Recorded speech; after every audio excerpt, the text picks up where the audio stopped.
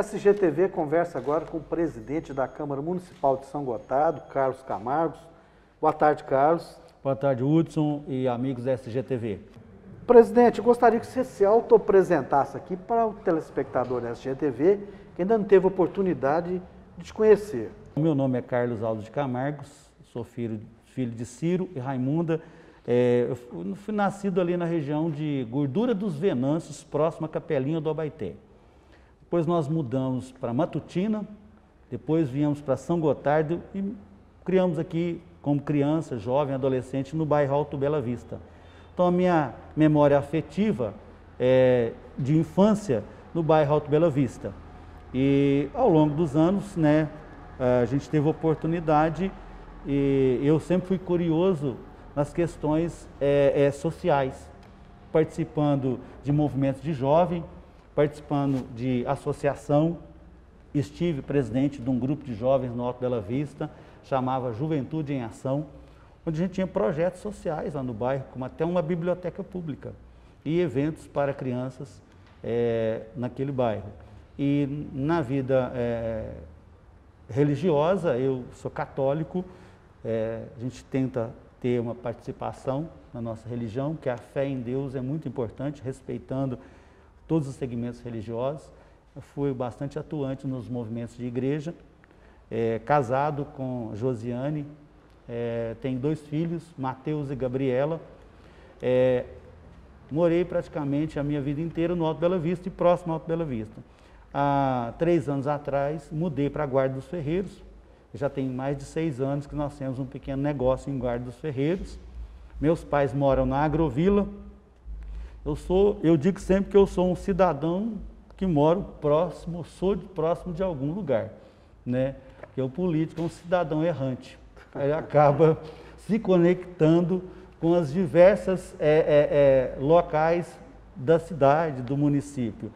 E eu sou muito grato a Deus, à minha família, aos amigos e à sociedade que me acolheu e que me deram a oportunidade de chegar à vida pública eu tive a oportunidade, o desafio de encarar uma candidatura de vice-prefeito com o Sequita no ano de 2012, onde atuei como vice-prefeito em 2013, 2016 e me candidatei a vereador em 2016, fui eleito para a legislatura 2017-2020 e me recandidatei a vereador em 2020, sendo eleito para a legislatura 2021-2024. É um desafio, é, muitas das vezes a gente tem muitos projetos, muitas propostas, muitos sonhos, que não são só sonhos do vereador Carlos Camargo, são sonhos compartilhados, são é, de um ouvir, de um olhar, de um caminhar na sociedade, de um caminhar ah, junto do nosso povo, para que nós possamos ter uma cidade melhor para se morar, com políticas sociais mais justas, com direito de acesso a, a todos, para que todos tenham uma boa saúde, boa estrutura de saúde, de educação, de infraestrutura urbana, de infraestrutura rural. Eu sou um defensor da mobilidade rural, porque eu sou tido como vereador dos Mataburro e também o vereador dos Quebra-Mola, porque eu gosto de cuidar da via pública muitas das vezes. Sou extremamente preocupado com as questões de saúde, porque muitas das vezes o que o sistema não atende, o povo procura o vereador. E aí é que aperta o vereador, porque às vezes ele tenta destravar, mas o sistema não dá conta. Aí ele tem que participar de alguma forma, ele tem que tentar buscar apoio além daquilo que tem na cidade. Então, eu sempre falo, me preocupo muito quando a pessoa me liga pedindo, apelando por uma questão de saúde, que a nossa estrutura de saúde a nível municipal está melhorando, mas tem que melhorar muito. A nível estadual está caótico, federal também não apoia pouco. Veio da Covid aí, da pandemia, mas isso aí é extra por uma situação momentânea. Então a minha história de vida é uma história que eu agradeço muito a Deus, as oportunidades que eu tive e, e eu tento honrar. Sei que não sou compreendido por todos, a gente nunca vai ter unanimidade, Toda unanimidade é burra, muitas das vezes tem esse jargão, né? Mas eu sou muito grato. E eu, outra coisa, Hudson, Eu conheço lugares e lugares, regiões e regiões deste município e de nossa cidade e de nosso povo. E só tive essa oportunidade porque eu me coloquei no desafio da vida pública. E eu gosto muito de saber que eu conheço muito, muito o nosso município. Conheço regiões que eu, eu tenho o maior carinho de falar assim, eu estou indo lá para a região do Gordura, estou indo lá para a região dos Três Capões, lá para o Cruzeiro, ali na Casquinha, na Vargem Formosa, na Capelinha do Abaité, na região do Padap. A minha esposa fala assim, mas você vai, vai sair, você vai conseguir chegar lá onde você vai? Então, eu sou meio geográfico, eu eu até uma árvore seca, eu gravo onde que ela está, se ela está verde, ela morreu depois de uns dois anos. Então, assim, eu sou muito grato e agradeço demais e tento né, fazer com responsabilidade, com sentimento de que prestar um serviço público é muita, muita responsabilidade que a gente tem que colocar nos ombros. E peço a Deus todos os dias sabedoria e muita fé para poder prosseguir e não desistir, mesmo que as pessoas não nos compreendam. E eu sou um defensor das instituições públicas brasileiras. Nós não podemos é, abalar as, as instituições porque é a minha opinião. Eu não posso denegrir uma instituição só porque é a minha, a minha, o meu jeito de ver. Nós temos que cobrar que elas sejam aprimoradas. Não abalar as instituições e falar assim, ah, não precisa mais do legislativo, não precisa mais do judiciário, não precisa mais do STF, não precisa mais dos tribunais. Nós precisamos da estrutura que atenda da melhor forma a sociedade brasileira e não ser contra a estrutura. Né? Aí vai ter uma desestabilização, a perda da possibilidade de chegar àquilo que a sociedade quer, que é o bem comum de todos. Eu me sinto orgulhoso do cargo que eu ocupo e tenho um imenso respeito pelos votos recebidos por cada, cada pessoa que votou em mim nas últimas cinco eleições, que eu, eu, eu disputei cinco eleições, fui eleito em três. Eu nunca desanimei, eu sempre acreditei que eu poderia dar a minha contribuição, que eu poderia chegar aqui na Casa Legislativa. Então eu levanto todos os dias com um compromisso de tentar cumprir o meu papel de vereador todos os dias. Eu não sou vereador do dia da reunião, eu sou vereador todos os dias para tentar fazer é, o meu papel. Se eu vou agradar ou não, aí é a opinião de cada um, eu tenho que respeitar. Mas eu tenho orgulho da função que eu ocupo hoje de vereador e presidente da Câmara Municipal de São Gotardo e quero deixar o meu nome na história dessa cidade. Bom, a gente vai falar agora sobre a estrutura de trabalho que dos vereadores no ano de 2021. Como foram divididas as funções de cada vereador, a formação das comissões permanentes. Carlos, um ano atípico, o ano de 2021, mas assim, de qualquer forma, seguindo as regras da casa, foram formadas no começo do ano as comissões permanentes. Conta para nós como funciona essa divisão de funções é, dos vereadores é, para esse mandato. Muito bem, Hudson, obrigado por essa oportunidade da Câmara Municipal prestar esclarecimentos à sociedade de como que funciona o trabalho do vereador e da Casa Legislativa. Primeiramente, é importante citar que realmente, com esse ano de pandemia, dificulta muito o andamento dos trabalhos. A grande maioria é feita de maneira remota, os contatos via WhatsApp, telefone, as reuniões estão acontecendo de maneira remota, é, até as próprias comissões reúnem de maneira remota, porque nós temos que dar exemplo de não promover as reuniões é, com aglomeração. Nós sentimos muito essa situação porque dificulta para que nós possamos é, informar a comunidade, para que a comunidade possa participar das reuniões em plenário. E nós esperamos que essa situação se estabilize para que nós possamos divulgar e convidar a comunidade para vir.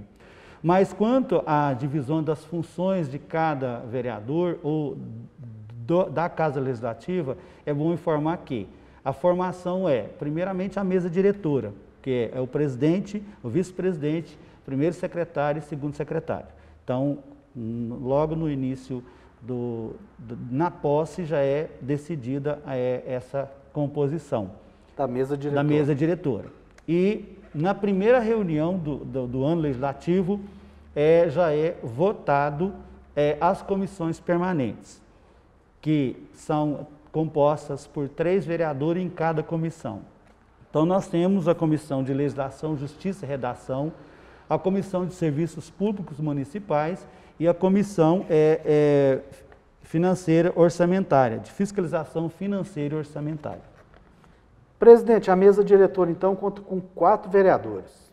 Sim, é o presidente, no caso, que sou eu, Carlos, o, o vice-presidente, que é o Valdivino, a primeira secretária, que é a Ana Flávia, e o segundo secretário, que é o vereador Amauri. Projetos de lei é, são, chegam na casa e são apresentados em uma reunião ordinária ou extraordinária, e ele é distribuído para as comissões. A Comissão de Fiscalização Financeira e Orçamentária, a Comissão de Legislação, Justiça e Redação e a Comissão de Serviços Públicos.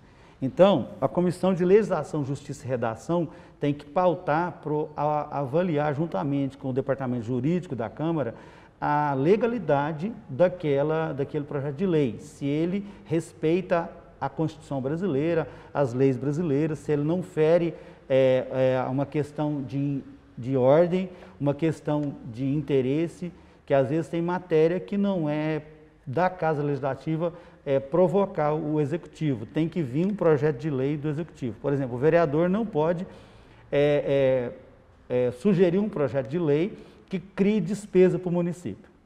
Ali dentro das comissões, eles recebem o projeto, analisam, passou pela, pela Comissão de Legislação Justiça e Redação pautou pela legalidade. Aí essa comissão dá parecer favorável, pautando pela legalidade. E as outras comissões de serviços públicos municipais e é, financeira orçamentária vão dar os seus pareceres, se concordam ou não concordam, se querem fazer alguma emenda ou se não vai dar parecer, para que um projeto de lei venha para plenário para votação é preciso que lá nas comissões ele tenha pelo menos dois votos de cada membro. Então, a comissão é composta por três vereadores, mas para um projeto de lei vir para plenário para votação, ele tem que ter dois votos. Precisa passar primeiro pelas comissões. Pelas comissões. Teve os dois votos, teve os pareceres favoráveis, vem para votação em plenário.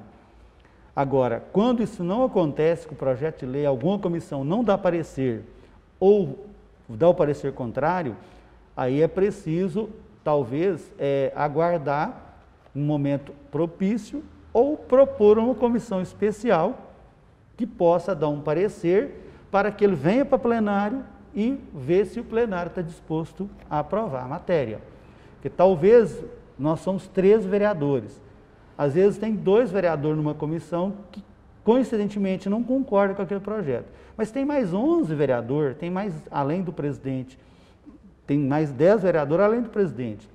Então, muitas das vezes, alguma matéria polêmica, o presidente, a mesa diretora, pode propor uma comissão especial para dar um parecer e vir para plenário, para atender, às vezes, os anseios da comunidade de que um projeto seja votado em plenário. Existem, além das comissões permanentes, outros tipos de comissões, como as provisórias e por assim diante. Nós temos as três comissões permanentes, nós podemos ter comissões temporárias, comissões especiais, comissões e comissão de representação. O que é uma comissão de representação? O presidente pode nomear um grupo de vereadores para acompanhar a prefeita numa visita a Brasília. Neste momento, nós estamos com aí no Brasil com aquela, o tema mais polêmico, né, que é a Comissão Parlamentar de Inquérito, a famosa CPI. Então, a Câmara Municipal, como a Câmara Estadual, Federal, o Senado, tem essa estrutura. Em voga no momento no Brasil, nós sabemos que está lá o Senado com uma comissão parlamentar de inquérito, uma CPI instaurada o tema é da pandemia, é quem errou, quem acertou, quem omitiu ou quem não omitiu as responsabilidades, quem não cumpriu o seu papel. Então isso é função do poder legislativo, né, de regular as ações do executivo. Por isso que eu defendo muito as instituições fortes, como o Legislativo, o Executivo, o Ministério Público, o Poder Judiciário e todas as instituições que compõem a estrutura para que o nosso país tenha é, uma livre democracia e direito de defesa dos interesses coletivos. Presidente, as comissões elas mudam segundo o ano legislativo? Sim, é, por exemplo, eu estou na, na presidência. Os membros da, da, da, da comissão.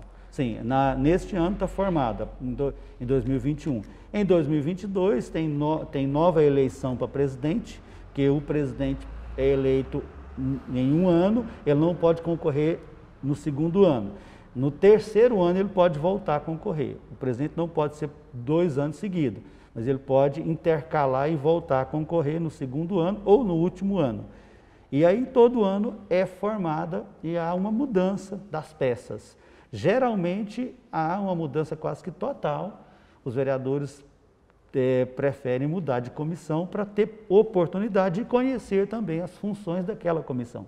Aí dentro da estrutura de cada comissão tem ali as pautas que eles têm mais poder para estar tá fiscalizando, que eles representam aquela comissão de legislação, que eu olho muito a questão da, da, da legalidade, a comissão de serviços públicos, ela vai, ela tem realmente um, um dever de observar se o serviço público oferecido à comunidade está à altura, em todas as secretarias. Como é que está lá o atendimento na saúde, como que está o atendimento da administração, da Secretaria de Obras. Essa Comissão de Serviços Públicos, eu particularmente tenho muito carinho por ela, muito, é, porque é uma comissão que assim, ela pode prestar um grande serviço à comunidade, no dia a dia. A de legislação é, é, já é uma questão mais técnica, mais burocrática. E a orçamentária também, porque ela tem a função de analisar se aquilo está dentro do orçamento aprovado no ano anterior.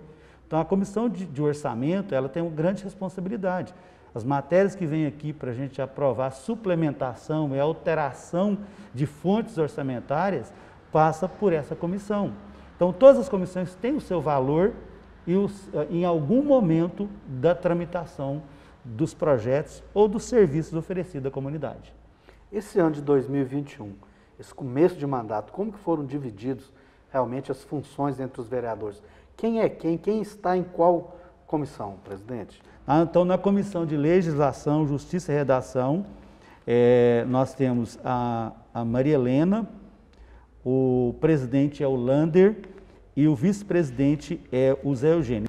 A Comissão de Serviços Públicos Municipais tem o presidente, o Genésio Chesco, o vice-presidente, o Célio, e o relator, o, Marqui, o Marco Antônio Alves. A Comissão de Fiscalização Financeira e Orçamentária, a presidente é a vereadora Denise, o vice-presidente é o Renê e o relator é o vereador Anivaldo Barbosa. Ou seja, nove vereadores.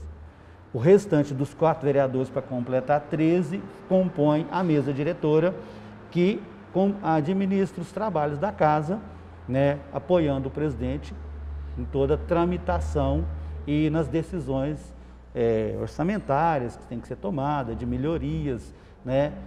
Toda a responsabilidade da mesa diretora. Mas o presidente tem um papel de maior responsabilidade. Então, quem responde pelo orçamento da casa é o CPF do presidente. Então, é de muita responsabilidade a presidência de uma Câmara, Municipal, no que diz respeito ao dinheiro público. Presidente, eu acho interessante a forma como é montado eh, as regras do legislativo, que elas refletem muito a situação democrática de um país, né? Como o senhor acabou de dizer, as comissões, por exemplo, terminou o ano legislativo, elas mudam eh, de pessoas, de presidência, eh, alguns mudam inclusive a presidência da casa. Isso, um assunto é visto de várias formas diferentes, de vários olhares. Isso significa uma diversidade muito grande que ajuda bastante na questão democrática, não é isso, presidente? Eu acho que uma estrutura legislativa bem feita e bem administrada, ela é essencial para a democracia. Sim, a, a sociedade muitas das vezes, Hudson, por desconhecer, às vezes não acompanhar, é, não entende, não compreende o tanto que é importante essa diversidade de pessoas participando é, da estrutura política administrativa do país. E dentro da Câmara Municipal, assim, você vai ver cada vereador tem um olhar diferente. Ele, às vezes ele tem mais um olhar olhando a questão de obras, o outro da educação, o outro da saúde. E é importante essa alternância.